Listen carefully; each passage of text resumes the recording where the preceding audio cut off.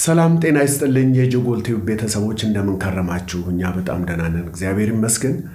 ሁላችሁም በያላችሁበት ፍቅር፣ ሰላም፣ ጤና እንድትሆኑ የዘወትር ምኞታችን ነው። ዛሬ መጽሐፍትና እቃዎቼን እያስተካከልኩ ነው ያለሁት። በዚህ አጋጣሚ አንድ ደስ የሚል እቃ አግኝቻለሁ። መጽሐፍ ነው። የ Great Spanish Short Stories ይላል። የስፔን ቋንቋ ተናጋሪዎች በጣም የተመረጡ አጫጭር ታሪኮች ያሉበት መጽሐፍ ስብስብ ነው ከዚህ መጽሐፍ ላይ ለእግዜር የተጻፈ ደብዳቤ፣ ለእግዜር የተላከ ደብዳቤ የሚል ሜጋ ኪነ ጥበባት ማዕከል እያለው ተርጉሜው ፈርጥ መጽሔት ላይ ወጥቶ ነበረ። በጣም ደስ የሚል ጣፋጭ ታሪክ ነው። መጽሔቱን ግን አሁን ስፈልግ በዚሁ አጋጣሚ አላገኘሁትም፣ ግን መጽሐፏ እጄ ገባች። ስለዚህ ለምን ለእናንተ ለቤተሰቦቼ አላካፍልም ብዬ በድጋሚ ተርጉሜው ዛሬ ላቀርብላችሁ ተዘጋጅቻለሁ። በጣም እንደምትወዱት ተስፋ አለኝ። አመሰግናለሁ። አብራችሁኝ ቆዩ። ደራሲው ግሪጎሪዮ ሎፔዝ የፉዌንቴስ ይባላል። ሜክሲኮዊ ነው። የልቦለድ ደራሲ ነው፣ ገጣሚ ነው፣ ጋዜጠኛ ነው። በ1935 የብሔራዊ ጥበብና ሳይንስ ተሸላሚ ነው። በጣም የሚገርም ታሪክ ነው።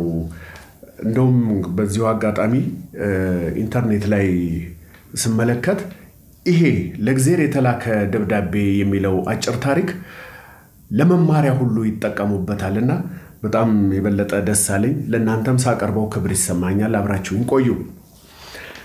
ለእግዜር የተላከ ደብዳቤ ቤቱ ከተንጣለለው ሰፊ ሸለቆ ብቻውን ከመለስተኛ ኮረብታ አናት ላይ ጉብ ብሎ ይታያል። ከከፍታው ቁልቁል ወንዙንና ከበረቱ አጠገብ ያለውን የአደንጓሬ አበባ ጣል ጣል ያደረገበትን በተስፋ ደረስኩ ደረስኩ የሚለውን ያሸተ የበቆሎ ማሳ ማየት ይቻላል። መሬቱ በዚህ ሰዓት የሚፈልገው ትንሽ ዝናብ ብቻ ነው፣ እንደው የጠብታ ያህል። ዛሬ ታዲያ ማሳውን የእጁን መዳፍ ያህል ጠንቅቆ የሚያውቀው ሌቾ ከጠዋት ጀምሮ በስተ ሰሜን ምስራቅ አቅጣጫ ሰማዩን ደጋግሞ ከማማተር ውጪ ምንም ሥራ አልነበረውም። ሰማሽ ሆይ አላት እራት በማዘጋጀት የተጠመደችውን ሚስቱን። ምን አለበኝ፣ አሁን ይዘንባል። እመኚኝ፣ ጥቂትም ቢሆን ማካፋቱ አይቀርም አላት። አዎ እግዜር ያውቃል አለችው ከስራዋ ሳትናጠብ። ልጆቹ እናታቸው ለራት እስክትጠራቸው ድረስ ትልልቆቹ እርሻ ውስጥ እየሰሩ ትንንሾቹ ደግሞ ከቤቱ አጠገብ እየተጫወቱ ነበር። ልጆች ኑ ራት ደርሷል ብላ ጠራቻቸው ስራዋን እንዳጠናቀቀች። ለራት ገበታ ከበው እንደተቀመጡ ነው ልክ ሌቾ እንደገመተው ትላልቅ የውሃ ጠብታዎች ከሰማይ መውረድ የጀመሩት። ግዙፍ የደመና ተራሮች በሰሜን ምስራቅ በኩል እየተሳቡ መቅረብ ጀመሩ። አየሩም ትኩስና ጣፋጭ ሆነ። ሌቾ የሆነ ነገር እንደሚፈልግ ሰው ወደ በረቱ ወጣ። ዝናቡ መላ አካላቱ ላይ ሲንጠባጠብ የሚለግሰውን የእርካታ ስሜት ለማጣጣም ካልሆነ በስተቀር የተለየ ምክንያት አልነበረውም። ወደ ቤቱ ሲመለስ ሰውነቱ በዝናብ ርሶ መንፈሱ በደስታ ረስርሶ ነበረ። ከሰማይ የሚወርዱት የዝናብ ጠብታዎች ሳይሆን አዳዲስ ሳንቲሞች ነው የሚመስሉት። ትልልቆቹ የአስር ትንንሾቹ የአምስት ሳንቲሞች አለ። በርካታ ስሜት ተጥለቅልቆ በዝናቡ መጋረጃ ውስጥ አሾልቆ ያሸተውን የበቆሎውን ማሳ ከነ አደንጓሬ አበባው ተመለከተው። ግን ድንገት ኃይለኛ ነፋስ መንፈስ ጀመረ። ወዲያው የበረዶ ጠጠሮች ከሰማይ መውረድ ቀጠሉ። አዳዲስ የነሐስ ሳንቲም የመሰሉ የበረዶውን ክብሎች። ልጆቹም ታዲያ ለራሳቸው ግድ ሳይሰጣቸው የበረዶ ዶቃዎቹን ለመሰብሰብ ከወዲያ ወዲህ ይራወጡ ጀመር። አአ ይህ እንኳን ጥሩ አይደለም፣ ትንሽ ጠንከር አለ መሰለኝ አለ ሌቾ በስጋት።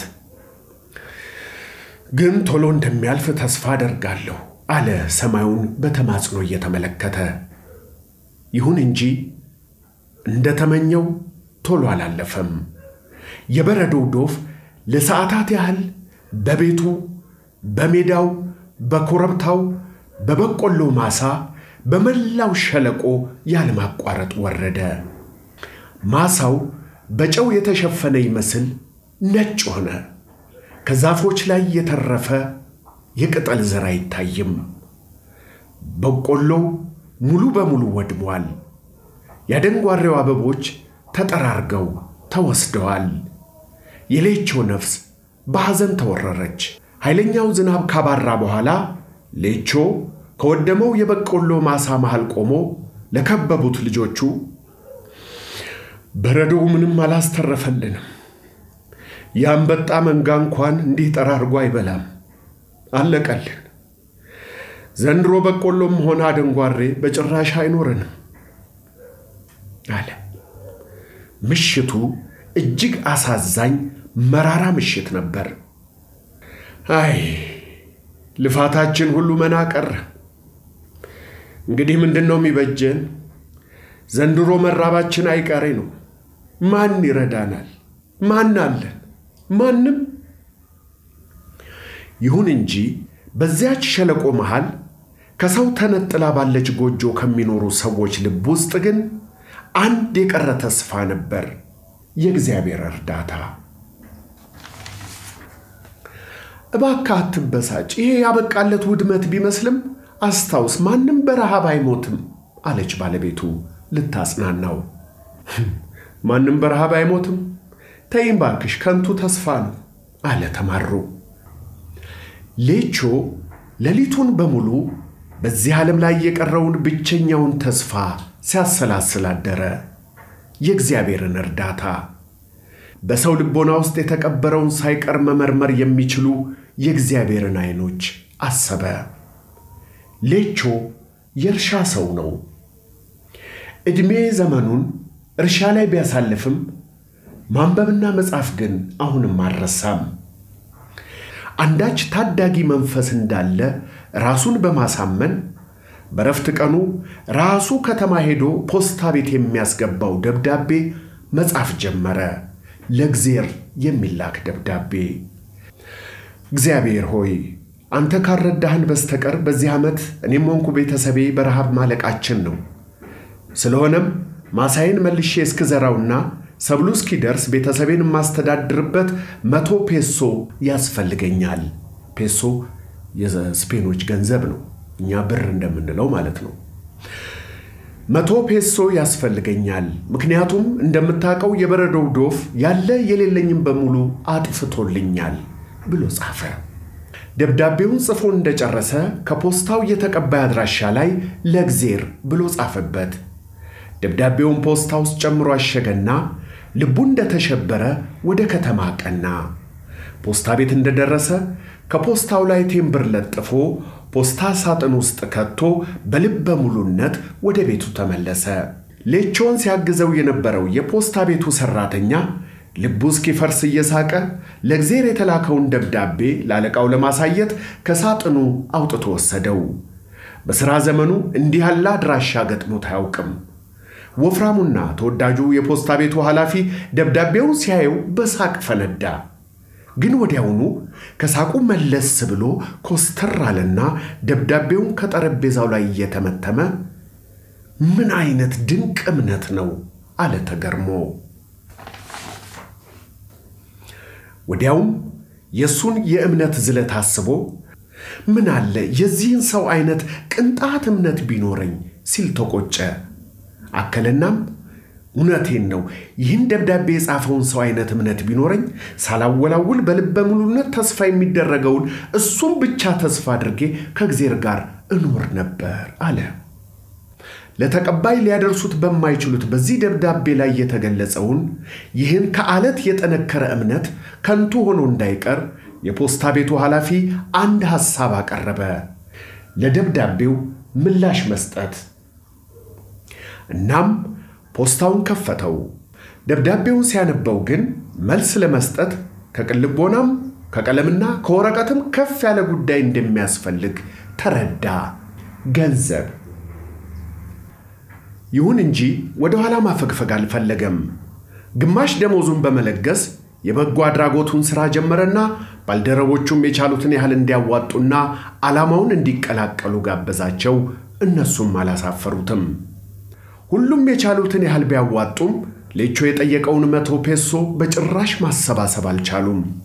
የተገኘው ከግማሽ ትንሽ ከፍ ያለ ብቻ ሆነ። ምንም ቢሆን ለገበሬው ይጠቅመዋል በማለት ገንዘቡን ለመላክ ወሰኑ። በመሆኑም ኃላፊው የተሰበሰበውን ገንዘብ በፖስታ ውስጥ ጨምሮ ካሸገ በኋላ ከላኪው አድራሻ ላይ እግዚአብሔር ብሎ ጽፎ የተቀባይ አድራሻውን ለሌቾ አድርጎ ከፖስታ ሳጥን ውስጥ ከተተው። በቀጣዩ ሳምንት ሌቾ ደብዳቤ ተልኮለት እንደሆነ ለመጠየቅ ቀደም ብሎ ከፖስታ ቤቱ ደረሰ። ያ ባለፈው ያገዘው የፖስታ ቤቱ ሠራተኛ ነበር ለሌቾ ደብዳቤውን የሰጠው። የፖስታ ቤቱ ኃላፊም ከባልደረቦቹ ጋር የሠራው መልካም ሥራ በገበሬው ላይ የሚያጭርበትን የደስታ ስሜት ለመታዘብ ከቢሮው ሆኖ በበሩ አሻግሮ ሊታዘብ ተዘጋጅቷል። ሌቾ ግን ከፖስታው ውስጥ የገንዘብ ኖቶቹን ሲመለከት ቅንጣት ታህል የመደነቅ ስሜት አልታየበትም። ምክንያቱም እርግጠኛ ነበር። ብሮቹን ሲቆጥራቸው ግን ተናደደ። ከጠየቀው ጎሎበታልና። እስከሚያምነው እግዜር አይሳሳትም፣ የጠየቁትንም በፍጹም አይነሳም።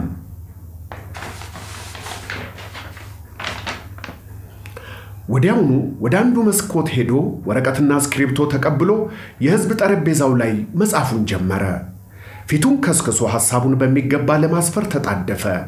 ልክ ሲጨርስ ቴምብር ገዝቶ በምራቁ አርሶ ከፖስታው ላይ ለጠፈና እንዳይለቅ በመዳፉ ጫን ጫን አድርጎ ከፖስታ ሳጥን ውስጥ ጨምሮ እየተጣደፈ ከፖስታ ቤቱ ወጣ። የሌቾን ሁኔታ በትኩረት ሲከታተል የነበረው የፖስታ ቤቱ ኃላፊ የሌቾን ደብዳቤ ከፖስታ ሳጥን ውስጥ አውጥቶ በፍጥነት ማንበብ ጀመረ። ሠራተኞቹም በጉጉት ከበው ማዳመጥ ያዙ። ደብዳቤው እንዲህ ይላል። እግዚአብሔር ሆይ ከጠየቅኩ ገንዘብ የደረሰኝ ሰባ ፔሶ ብቻ ነው። ገንዘቡን እጅግ በጣም እንደምፈልገው ታውቃለህ። ስለሆነም የጎደለውን በአስቸኳይ ላክልኝ። አደራ የምልህ ግን በፍጹም በፖስታ ቤት በኩል እንዳትልክልኝ። ምክንያቱም የፖስታ ቤቱን ሠራተኞች አላምናቸውም፣ አጭበርባሪዎች ናቸው። ያንተው ሌንቾ። ተፈጸመ። የሚገርም ታሪክ ነው አይደለም? የሌንቾ እምነት እጅግ በጣም የሚደነቅ ነው። እስቲ ያላችሁን አስተያየት comment ላይ ጻፉልኝ። በተለይ መጨረሻ ላይ ያለው የቀረውን ገንዘብ በፍጹም በፖስታ ቤት በኩል እንዳልክልኝ አለ። በየት በኩል እንዲልክለት ነው የፈለገው? ይህንን አስተያየት ስጡበት። በጣም ይገርመኛል ሁልጊዜ። ስለነበረኝ ጊዜ እጅግ በጣም አድርጌ አመሰግናለሁ። ስለተከታተላችሁኝ እግዚአብሔር ይስጥልኝ። በሌሎች ስራዎች እንገናኛለን። subscribe ያላደረጋችሁ subscribe በማድረግ ቤተሰብ ሁኑ። comment አድርጉ፣ share አድርጉ። እጅግ አድርጌ አመሰግናለሁ። ሁላችሁም በያላችሁበት ፍቅር፣ ሰላም፣ ጤና ሁኑልኝ። እግዚአብሔር አምላክ ኢትዮጵያ ሀገራችንን ይባርክልን። ሰላም ሁኑ። አመሰግናለሁ።